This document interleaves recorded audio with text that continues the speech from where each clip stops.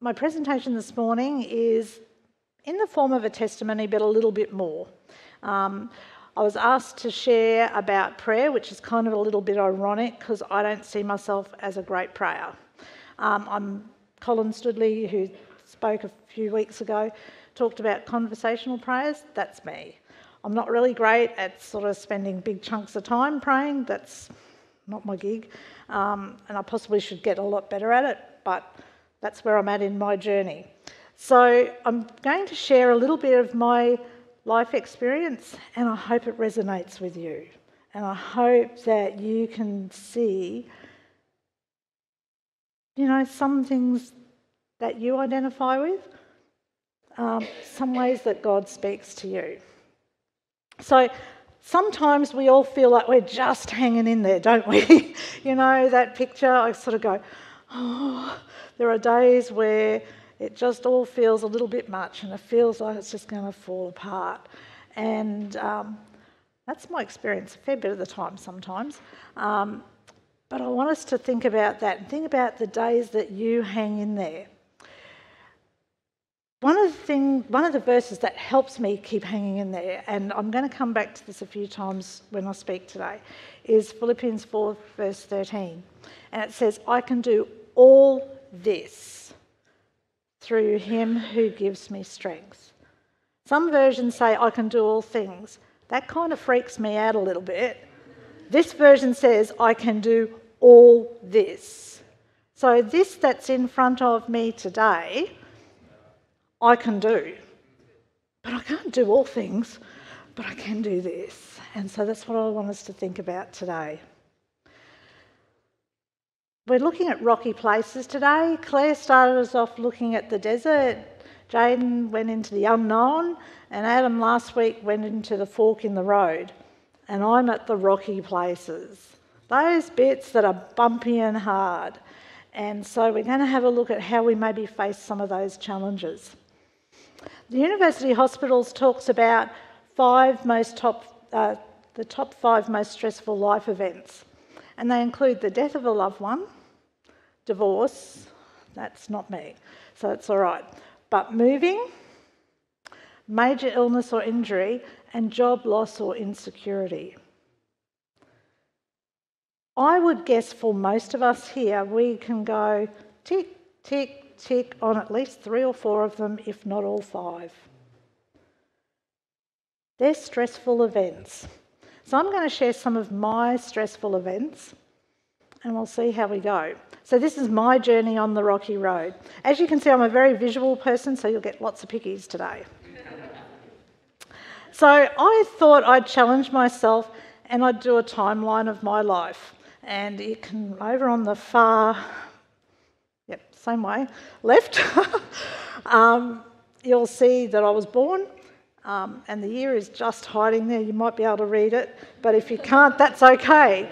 Um, but I've divided it into decades, and each of those little dots represents some significant life event. Some things I've combined. I've gone family crises because at one point um, in the early 1980s, um, we had a lot. We had a lot of things happen in a couple of years, and it was tough. All of those represent significant events. That's not even the day to day stuff, like my kid's sick, or they're having a meltdown, or they're at hospital, or they're, you know, that's not the day to day stuff. This is the big stuff. I just want to focus on the stuff that sort of happened in the last two years or so, from about the end of 2020 to 22. So at the end of 2020, I made the big life change of retiring. And that was awesome. Best thing I've ever done, by the way. Um, really good. And I've, after educate, working in education for 40 years. So for me, it was a really big, big change. But it was a good decision. Towards the end of 2020, I'd been having trouble um, with my leg walking, and I thought, okay, because I'd had it di- diagnosed as sciatica. I'd also uh, I have lymphedema because I had cancer some years before. and this was just a side effect of that. And so I thought, okay, I'm getting old. um, I'm going to buy a single story house because our house was multi story and the stairs were just getting to me. So Daff and I decided that we would sell our house and we got it all ready. Um, you know, cleaned everything out, and some of the wonderful people here today actually helped us do some of that. Um, but we got it presented ready for the market, and we managed to sell it very quickly in January 2021. We then rented a place because we'd decided we were going to buy some land and build, which was awesome. We planned to rent on the 3rd of March because that's when we had to be out of our house.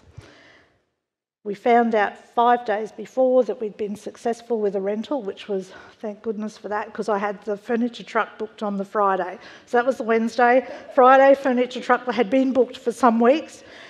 Friday, we're all ready to go. Uh, no trucks coming. Really bad. So we went, what the heck are we going to do? And they said, no, no, we can send a couple of trucks tomorrow. Um, and I said, can they move the piano? Because this was, you know, for any of you that own a piano, pianos are very difficult things to move. And um, they said, yeah, sure, sure. Ring again. We've only got two small trucks tomorrow. And this was the next day. I'm going, okay, can they take the piano? Oh, yeah, yeah. Can they take the piano? Uh, just let me check on that. No, they couldn't. And worse still, they then rang back and cancelled.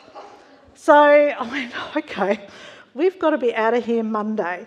And um, fortunately, I did a run round. I was ringing different people, going, hmm, "You got a bit of time Monday, or the you know to come and help." We, I was envisioning going to Andy's auto rent and renting a vehicle and just you know doing loads and loads of trips.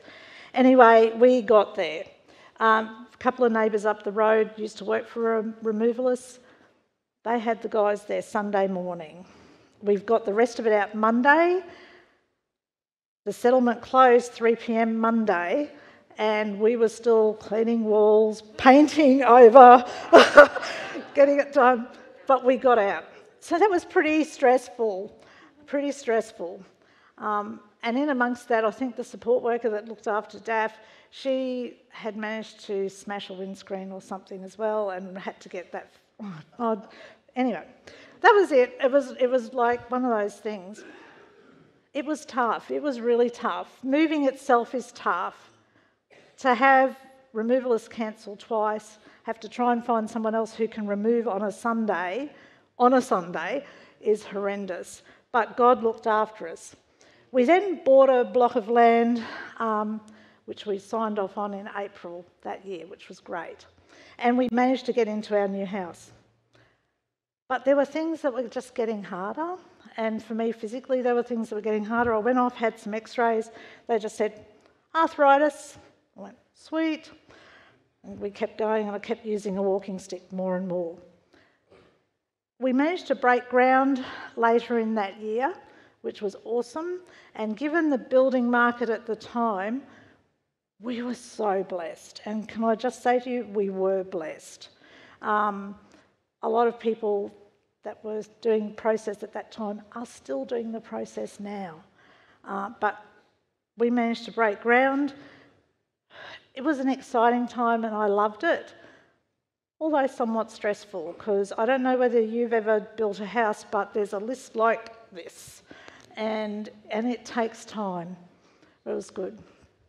However, I had an unusual birthday present. This is my 60th birthday, and the doctors rang me and said, You've got to come in and have a biopsy. And um, they did a scan, and you can see in the yellow bit there um, that there's a tumour, and it's around about five by seven centimetres. And that was why I was walking with a walking stick. And the cancer that I'd had about eight years before had come back. Um, and you can see even the bone there, it's eaten away the bone. So that was great. So I had my birthday, biopsy the next day, and my celebration the following day. It's a crazy time. Um, but it was good, you know, because I got to celebrate and people got to look after me and attend to things. But when I went and saw the doctor after they'd done the biopsy, he said, Look, it's uterine cancer, it's come back again. He said, Chemo only has a 50% success rate with this type of cancer. You know, you do the odds. it's not good, hey. Um, but he said, We can do chemo, but we can't operate. So I went, Okay, let's do chemo. So that's what we did. Um, and I kind of make some of this sound easy. It wasn't. Chemo itself wasn't great. Chemo during COVID periods wasn't great um, because I was restricted as to who I could have with me or that. Fortunately, at this point, I could have at least one person with me. And so my sisters came on a few visits and then they changed the rules again. If you weren't vaccinated, you couldn't come. My sisters weren't vaccinated. So then some of the wonderful people here at church stepped in and came with me at different times. While chemo was hard, it's not the hardest thing I've done, but it was pretty crappy. Um, and I remember one Sunday after I'd had the first lot of chemo, just sitting there outside, and I'm going, What the heck? I felt really weird, like really weird. And I was sad, I was frustrated. And I'm going, God, what are you doing? Like, what are you doing? This is just really weird. And I'm going, how do I know? How do I know how to pray? Because, you know, when a doctor tells you you've only got 50% chance of the treatment working, how do you pray? Because I'm going, God, if you want me home with you, that's okay. But I'm also going, but I've got family that I need to take care of here. And that's not okay. And I'm really worried. I'm really, really worried. Because what happens? What happens to my kids? What happens? That was really hard. And I can remember some days sitting there and I'm going, I don't even know how to pray. I don't know whether to pray for healing. I don't know whether to pray that God takes me quickly but make sure that everything else is in order. I didn't know how to pray. But some people did, and they prayed, and some of them are sitting in this room. And I'm so grateful for those prayers because they upheld me when I couldn't pray for me. I put the food in there because it was a blessing. they gave us food every time I had chemo. They didn't just give me food, they gave the person who came with me food. And you know how good that makes you feel? When someone who's caring for you can be cared for a little bit as well. And it was great. Because I tell you, I had allergic reactions to the chemo. So a lot of the time, whilst I'm sitting there smiling in that photo, I wasn't. I was out to it because they'd pumped me full of Phenergan to fight the allergic reaction that I had to the chemo that was supposed to be making me better. Crazy time all during this time, so chemo lasted for a period of about 18 weeks. I had one session a week for three weeks, every three weeks for six sessions, so 18 weeks of chemo. And typically, and if you know about chemo, first week you feel really terrible. I was a lot better than some people. I fortunately had no nausea and I had none of that stuff, which was a, such a blessing. Second week, your immune system is incredibly low. I had to have injections. The thing that I hated most was an injection to help my body build stuff so that I didn't have, didn't, you know, so that my body could cope with infections or could cope with uh, other things that come your way. Because uh, your immune system basically drops right out in that second week. Third week, you start to feel good again. So every third week, I possibly got to church because I actually felt not too bad. And then you go through it all again.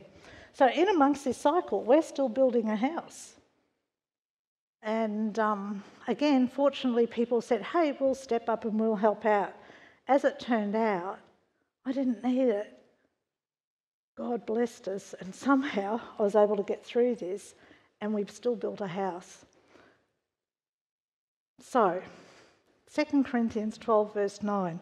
I talked about Philippians 4, verse 3, but 12, 2 Corinthians 12, verse 9 is one of my life verses. I've had it in my life since, I don't know, I was very young because it really spoke to me.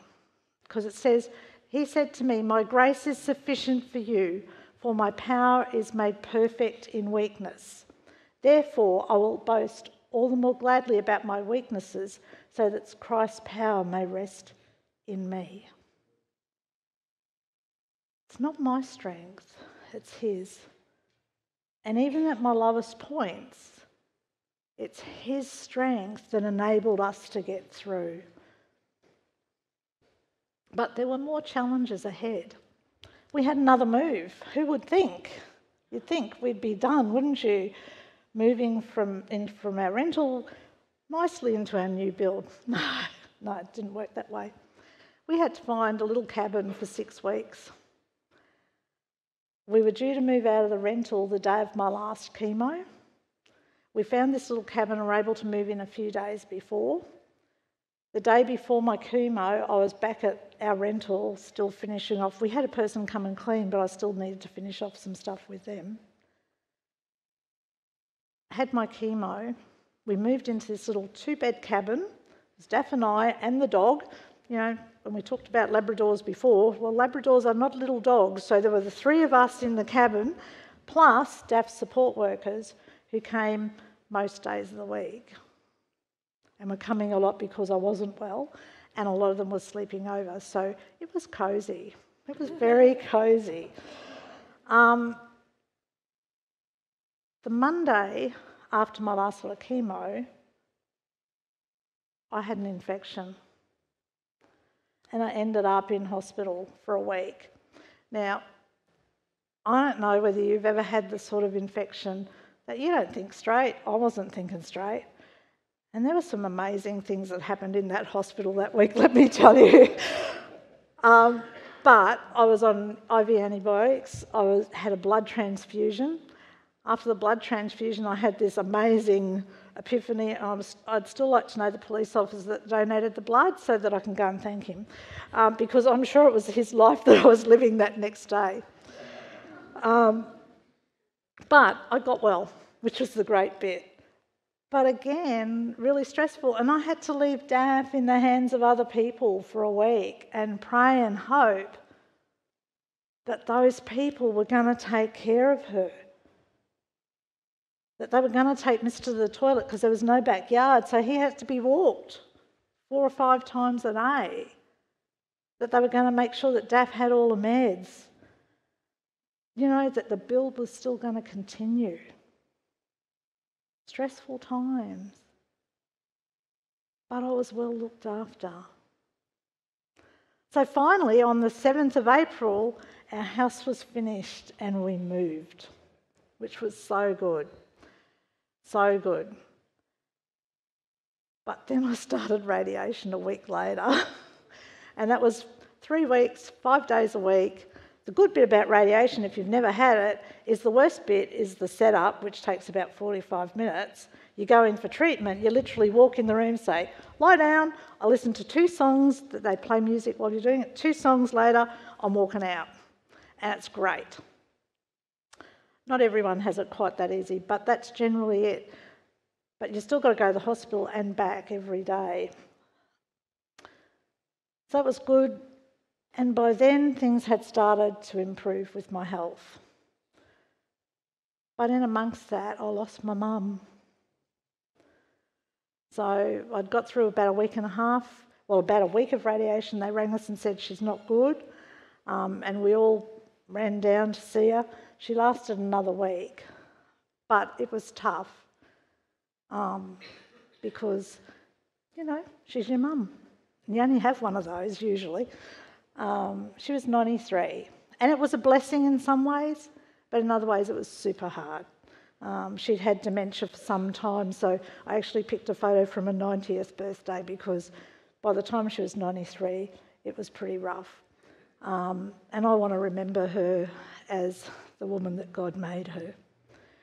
Um, but that was a tough time. And in amongst that year, I'd had eight of my friends lose their parents as well.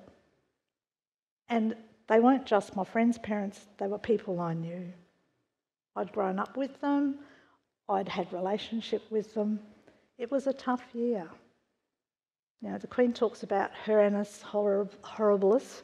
Well, this was possibly equivalent. But God's been good. God's been good. And I got to speak at my mum's funeral. Um, and, you know, I treasure the things that she taught me. I treasure her life in Christ. She was a Christian woman.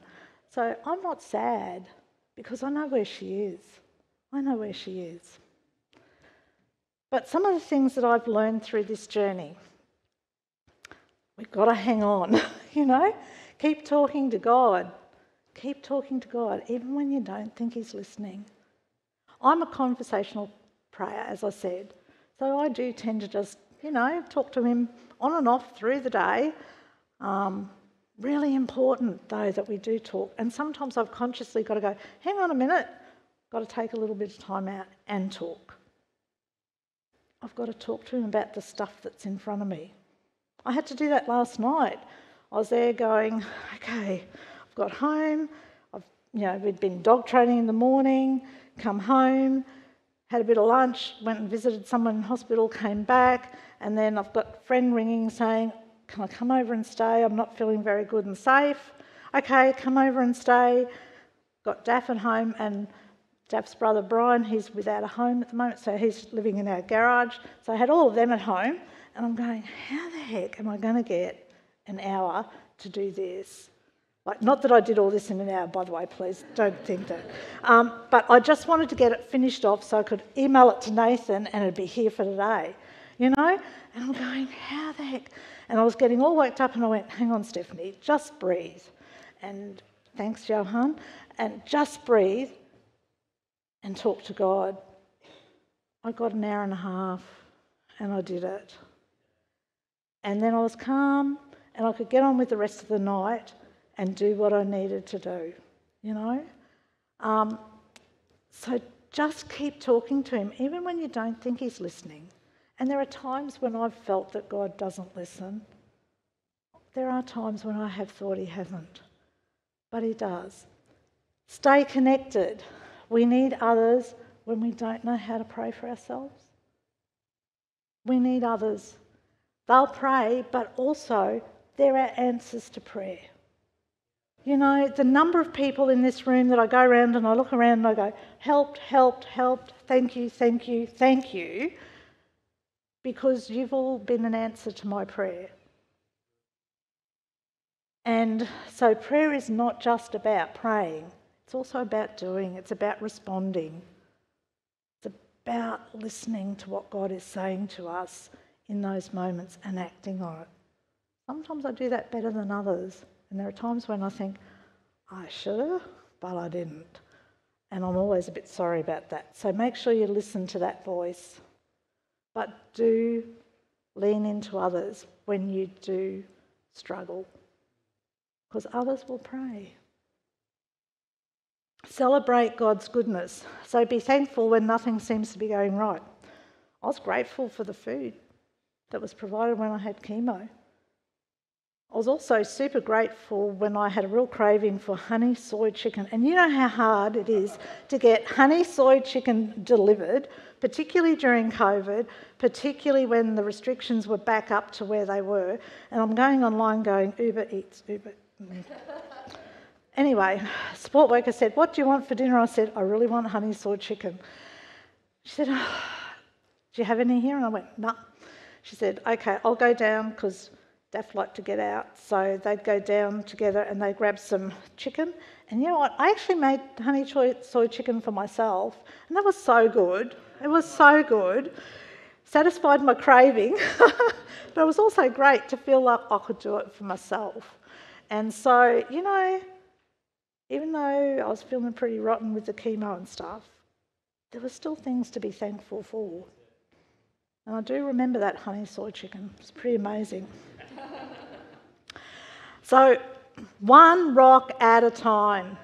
one rock at a time.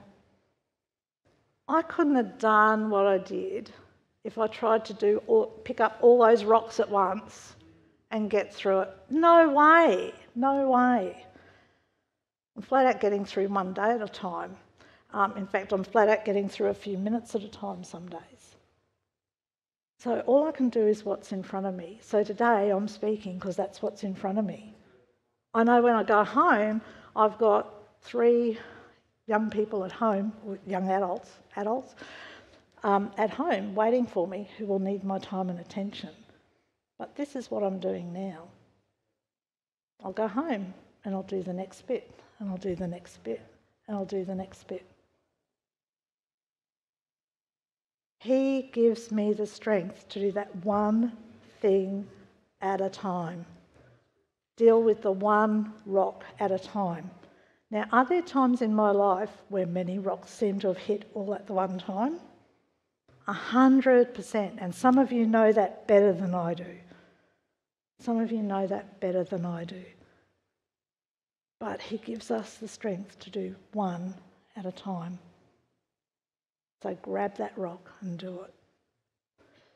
And sometimes, if we're lucky, we might even grab two be able to do a giant step. I like this quote from Nicky Gumbel. It says, Life is a set of challenges, problems, and hassles. We sometimes imagine that if we could just deal with the immediate challenge that we are facing, that all of our problems would be over. Who's ever felt like that? Me.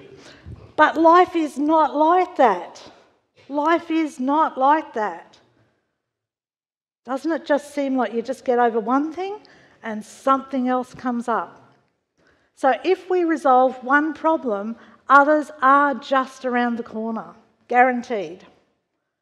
The temptation is to see these challenges as preventing us from carrying out the ministry God has given us. But in actual fact, dealing with the problems is the ministry. If I look back over my life, just really quickly, I grew up in a, in a poor multicultural society. I grew up in the western suburbs of Sydney for the first seven years of my life before we moved in two different areas. If I said Bankstown, most of you go, oh my gosh, well, that's where I grew up. Um, so I lived there, then we came up here to Kallangur. Poor, maybe not so multicultural, but people with heaps of need. Our church had a boys' home attached to it, 27 young boys who were without family were part of our church. I grew up with them. Can you see the picture starting to happen? I then fostered children. I then worked in a multicultural school over here at Woodridge. You know? God uses some of the struggles in our lives to grow and shape us. If we don't have those struggles, how do we reach out to the person next to us who also has struggles? We can't. How do we see God's presence in all this if we don't have struggles?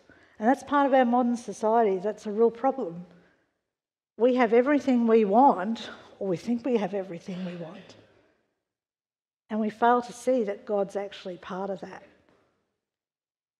My house is not there because I built it.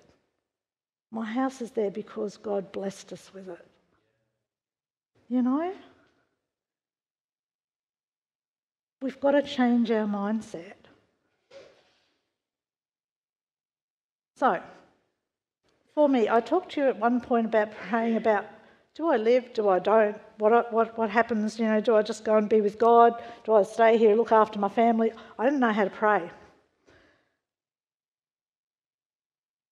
One of the reasons I didn't know is because of this verse. These little troubles are getting us ready for an eternal glory that will make all our troubles seem like nothing. So, whilst I'm having problems here and now, the big picture is this isn't going to be the case anymore. We're going to be with God. We're going to be celebrating. We're going to be celebrating with other children of God. And our troubles will be no more. Sometimes we get so worried about praying for healing here on earth When in actual fact, the healing that we need is that spiritual healing. The healing that enables us to relate to God, to be part of His kingdom, to be part of that eternal future. So, for me, I just want to encourage you today make sure that that relationship is right. Make sure that God is that centre. Don't be afraid. Don't be afraid of illness. Don't be afraid of dying. If you know God, it's all under control. And we've got a great future ahead. So, your rock is in your hands. In God's hands, sorry. Your rock is in God's hands. The stuff that is hard, and I don't know what your tough stuff is today, but the stuff that is hard for you today is in God's hands. It's in His hands. And you can be assured of that. I just want to finish with this passage from Romans 8, verse 26. And it says, In the same way, the Spirit helps us in our weakness. We do not know what we ought to pray for, but the Spirit Himself intercedes for us through wordless groans. And as the uh, band come up to play, do our final song, I just want you to have a think about what it is in your life that you can't find words to pray for. Because I'm sure we've all got stuff. Whether it's to be healed or not healed, whether it's do you pray for hope for your family, or do you pray for challenges because you know that those challenges are going to make them grow? What is it that you need to pray for that you maybe can't find the words? And we're going to have a time of prayer after the service where anyone can come forward and have prayer, and someone will pray for you and pray into those spaces that you have no words for. But be assured that God's Spirit is also praying for you in those spaces. So, what do I know about prayer? Maybe not a lot, but I do know that God loves us and wants to talk to us and is talking to us and He wants us to talk to Him. Let's pray. Father God, we just thank you that your presence has been here with us this morning. We just thank you that your Spirit sits alongside us each and every day. That your Spirit prays for us in words that we can't even possibly understand, Lord. But we just thank you for that. And we just thank you for your love for us. Your love that is so great that if we have faith in you, we can have eternal life with you. That the trials and troubles of this world will no longer be because we will be with you in eternity, Lord, and that that place is perfect.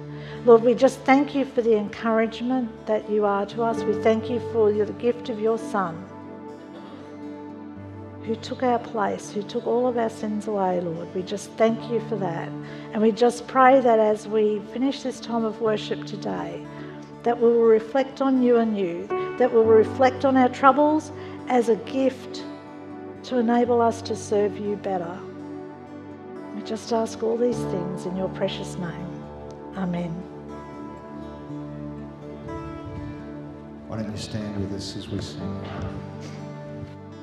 Just remind ourselves again of God's faithfulness. You unravel me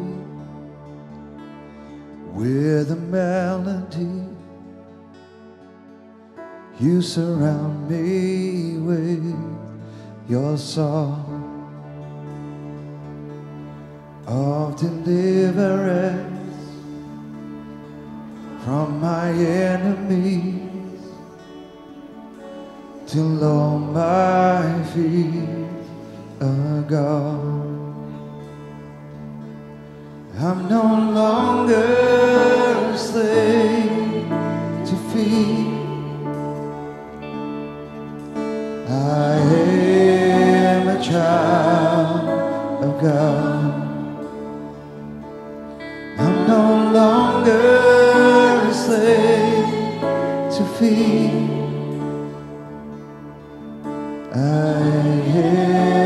child of God. If you have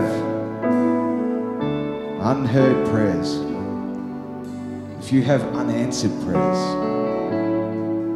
you want to bring them to a place where God is going to meet with you, feel free to come down. We've got pastors and council members and others to be able to pray with you and just share that burden with you.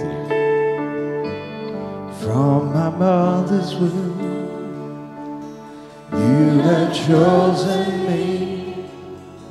Love has called my name. Thank you, Jesus. I've been born again, oh, to your family.